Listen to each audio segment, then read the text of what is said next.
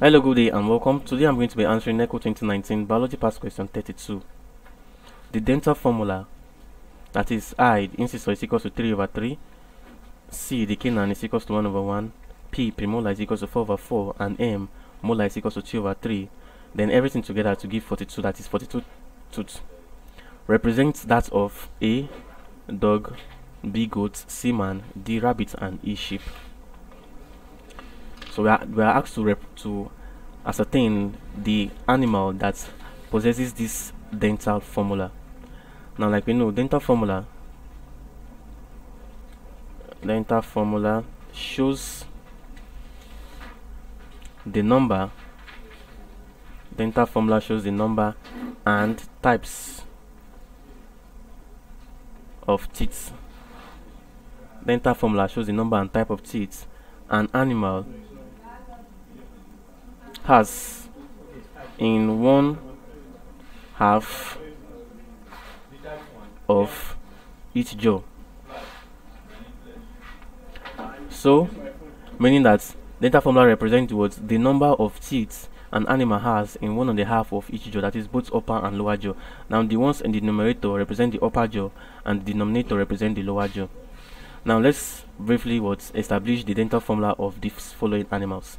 Now option A yes is dog. Now the dental formula for dog, you have the incisor to be 3 over 3, the canine to be 1 over 1, the premolar to be 4 over 4, and then the molar to be 3 over 3. Now this is for what? For dog. So all the molar to be 2 over 3, sorry. 2 over 3. That's the molar. That is 2 molar in the upper jaw and 3 molar in the lower jaw. Remember it is what? One half of each jaw. So altogether, when you carry out this sum or the arithmetic, it will give you 42. Then option B, option D, and option E are all herbivores. Remember dog is a carnivore. And carnivores have the same dental formula. But goats, rabbit, and sheep are herbivores and they have uh, the same dental formula.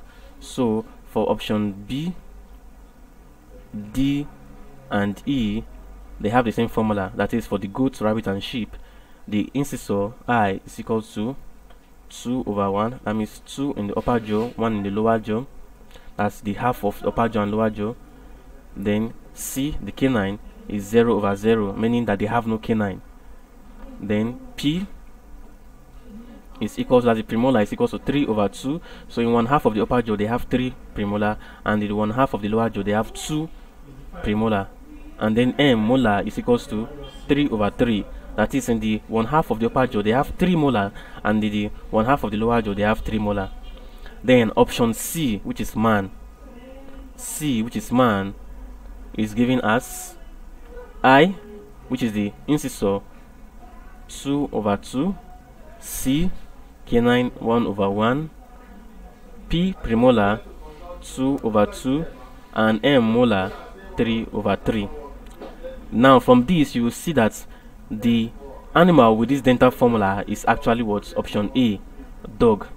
Like you can see, dog has 3 incisor on one half of the upper jaw and likewise on one half of the lower jaw, one canine on the one half of the upper jaw and the same with the one half of the lower jaw, 4 premolar on one half of the upper jaw and likewise one half of the lower jaw and then two molar in one half of the upper jaw and three molar in one half of the lower jaw. So therefore the answer to this question is actually what? A dog. Dog is the animal with this dental formula that is carnivores with this dental formula. Thank you and god bless you. And subscribe to our channel for more videos and past questions